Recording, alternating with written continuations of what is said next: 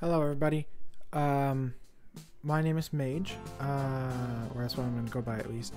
So, I started making this sculpture two whole weeks ago.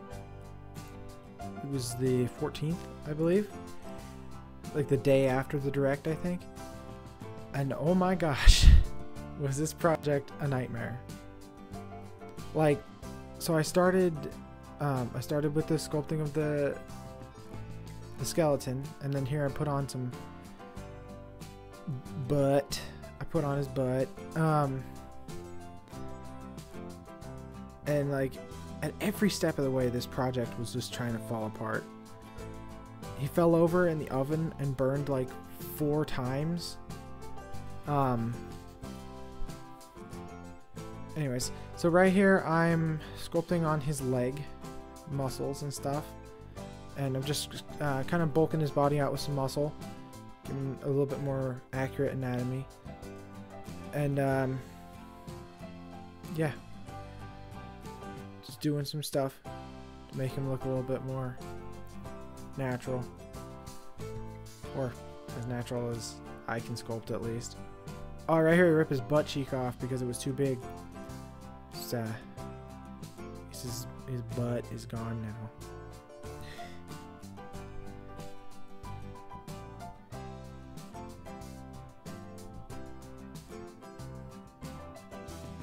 Adding some back muscle here and I'm uh, going to smooth it out with this tool.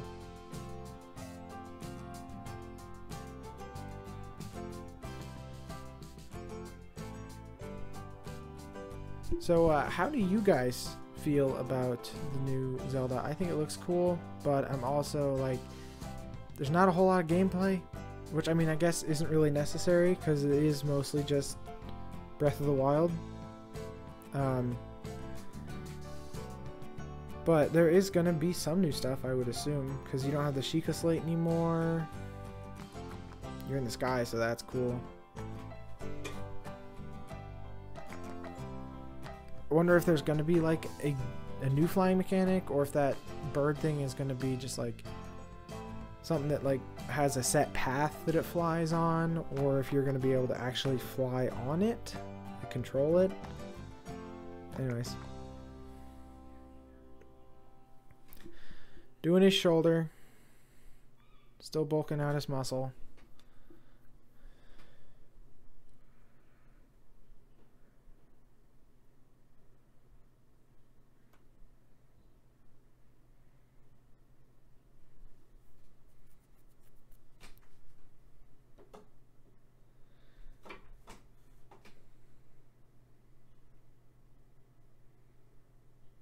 All right, right here I'm drilling into the bottom of his head, which I made his head off camera because it wouldn't work.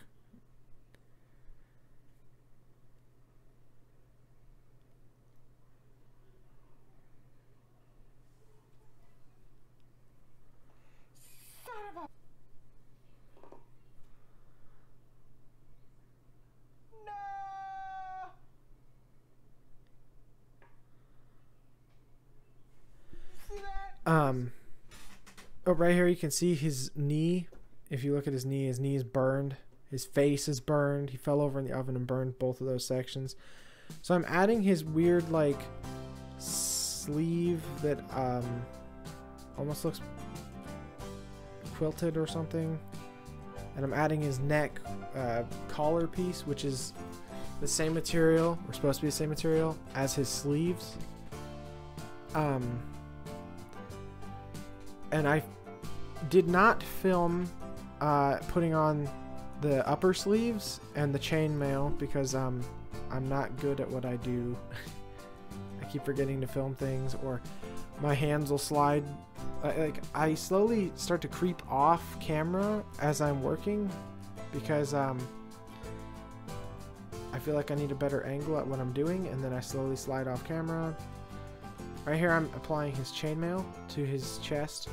So there's, you know. And I apply this strip, and this strip is entirely useless. You don't even see it um, in the end. Like this strip, the longer strip that I just added. Right here I'm adding um, part of his collar piece. The piece that like goes down in a bit of a V-neck shape. And then I'm gonna um, smooth it out, and uh, I do end up removing that bottom piece of chainmail because you can't even see what's going on.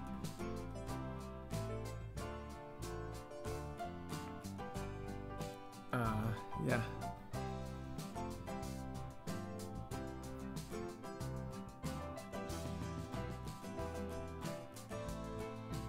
And then I'm adding the, the rest of the collar bit around the back.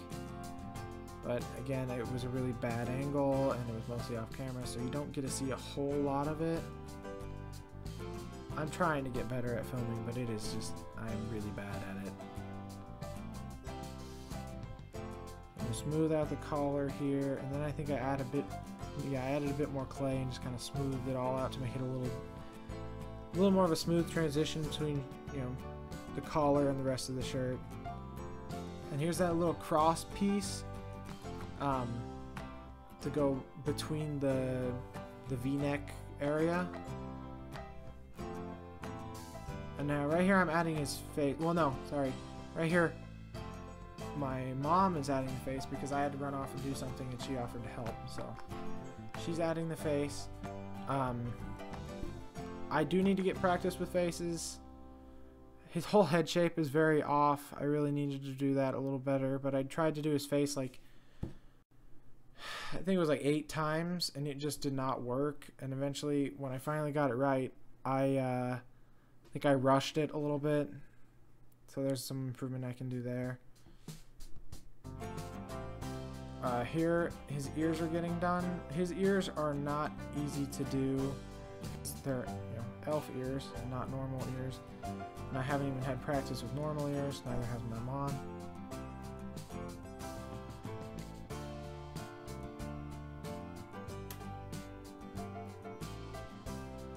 Right here where uh, she's adding the hair because I was still off doing some errands.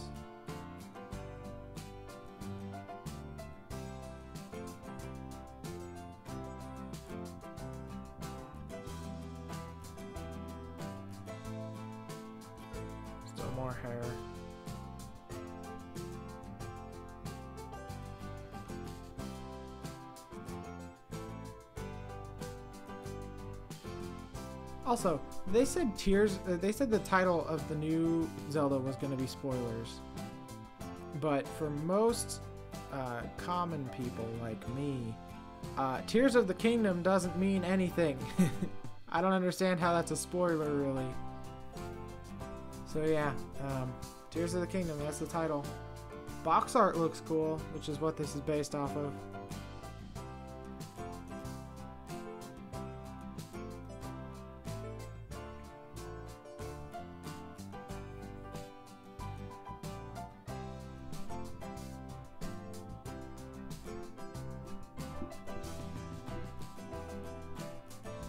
So I'm doing his hands right here.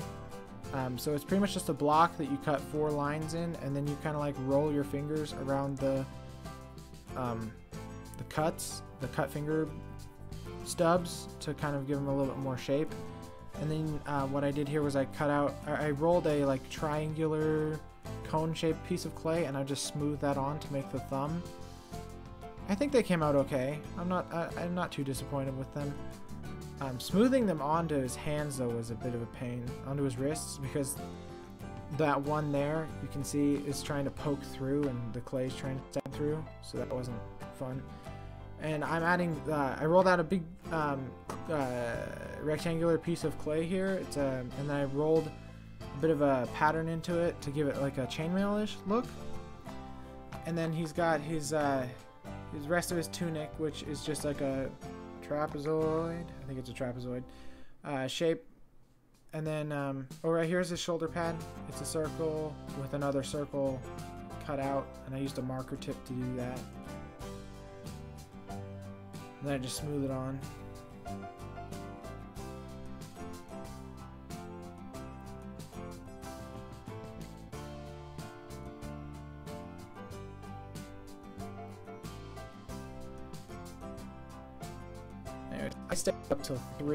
To get this thing edited, and then um, I'm running on like four hours of sleep.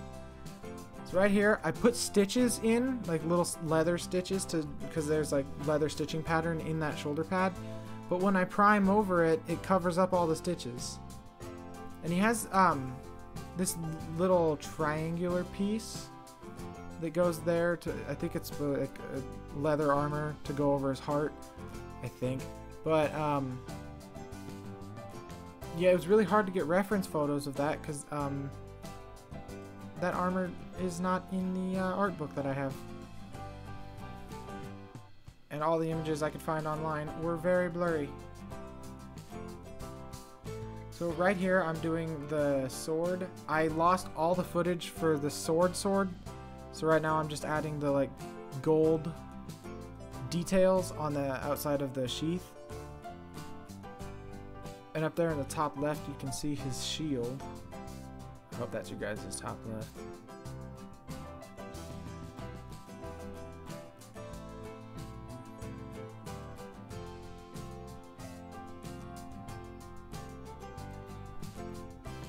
And he, um, I'm adding the little ring gold bits on his hand. They're not gold right now, but they will be soon. Um, well, they're not really gold, they're more like a yellow, but yeah. Um, off camera again, because I'm terrible at what I do. Um, but he has all these little golden rings and stuff, but again, all the, all the reference images I could find online were very blurry. And so I'm, um, what I did for his gauntlets was I just added a clay, I think they're gauntlets, uh, added a, a clay square and I rounded all the edges off. And then I add this little triangular piece underneath to give it that like extra layer look. And here's his foot. I had to, um, my mom had to help me again because I, I, had to run off again. Um,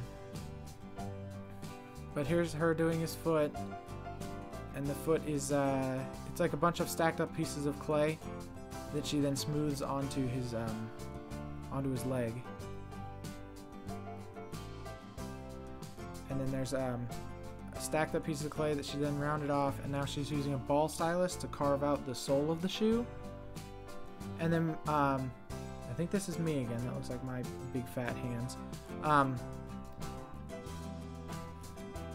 what I did there was I, I, rolled out a piece of square clay and then I um, rolled it over the edge of the boot to give it like a bit of a boot shape and then I did another uh, rectangle of clay for the bootstrap or boot flaps on top and in here I'm painting I painted his pants a little bit ago um, they're like a beige I'm not really good with colors so don't hold me to it but now I'm painting his chainmail and his boots got painted uh, brown. His tunic gets painted tunic colored. My hands are covered in paint. Um, more painting of the tunic. And this brown paint, I hate this brown paint. It is so thin and it takes forever to go on and then like in the end it didn't even didn't even look all that great. And his hair, getting his hair color uh, right was a bit of a challenge. But it's just like a goldeny color. And then I painted his face while trying to paint his hair. And then I painted all of his skin off camera by accident. Uh, and then his sleeves here are black. You paint the sleeves black because that's what the color... That's As far as I could tell, they were like a black or blue in the, the footage that I found of the game. Or the footage that they posted of the game. And then here's him mostly finished painting. I paint on his eyebrows and his eyes. And let me tell you, faces are not easy to paint. And then his his eyes get like a nice blue. And then they get a pupil inside of that. And then uh, my hands drifted off camera when I was doing the like eyelashes. So that's what you get. And right here I'm doing a, a, a, a brown wash on his hair to give it like kind of like get into all the recesses and do all the details on there. And right here I'm dry brushing off camera again. And the camera's all blurry because my camera work is fantastic. And here's his shield. It, as far as I can tell, it's like a, a brown. I think it could have gone a little lighter with the brown there. And then there's a dark brown. And again, it's thin and not very opaque. Wait, is opaque the right word? I don't know. It doesn't stick very well. And then you paint on some triangles that are pretty much the same color as the regular back of the shield, and then some darker triangles. And then there's this eye thing, which looks a lot like the Sheikah eye, but it has like a lot more teardrops coming off of it. Which, who knows, maybe that has something to do with the title. Uh, but yeah, then you draw the eyeball, which looks a lot like the Sheikah eyeball, but different. Because there's a lot, I think this one's more detailed than the Sheikah eyeball, and there's a lot more teardrops coming off of it. Or are those supposed to be eyelashes? I don't know. And then the sword gets a nice blue on the, the scabbard. I think it's a scabbard. Sheath? Scabbard, sheath, whatever. And then uh, a yellowy gold, which it gets a little more gold later on. And right here, I'm making a base. And um, I ordered XPS foam. And they sent me styrofoam. anyway, so I covered the styrofoam in plaster. And now, um, right here, my mom is carving out grooves. Because I had to run off again. And I think eventually I take over and do the grooves because I was able to. Yeah, these are my hands. Um, I do the. I did some of the grooves and I do some cracks to make it a little like worn looking. Yeah.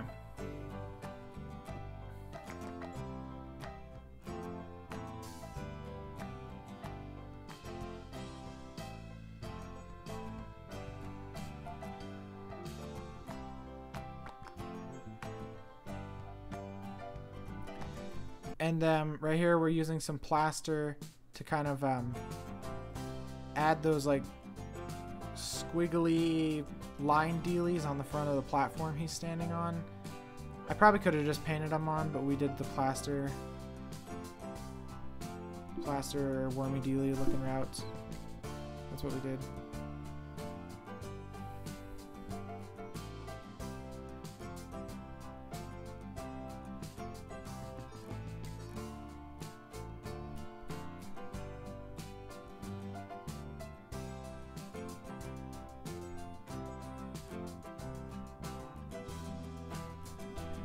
Here, I'm doing a brown wash over the whole thing to bring out a bit of the cracks and details to make them stand out a bit more. And, um, yeah, washing is fun. Well, not washing, but like putting a wash on stuff is fun. Dry brushing is another story. Dry brushing is a pain in the butt. It's fun when it works, but if you have too much liquid in there, you're just painting. And if you have no liquid in there, well, like no paint in there, it, it doesn't go on. So you're, it's like a constant struggle, and right there I think I had too much in the brush, so I pretty much just painted the top of it. And right here, this part we're doing now, that is a little bit more like what I wanted. Like the bit, like uh, just picking up the edges, you know?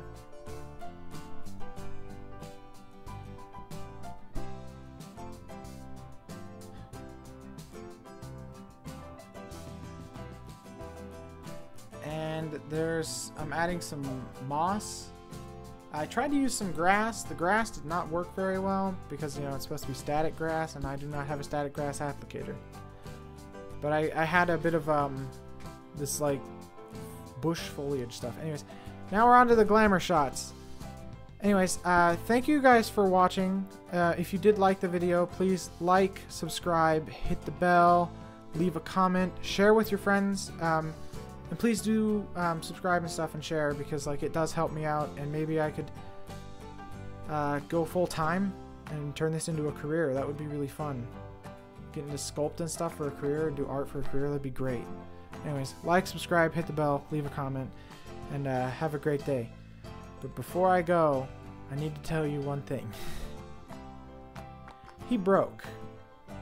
His ear snaps off.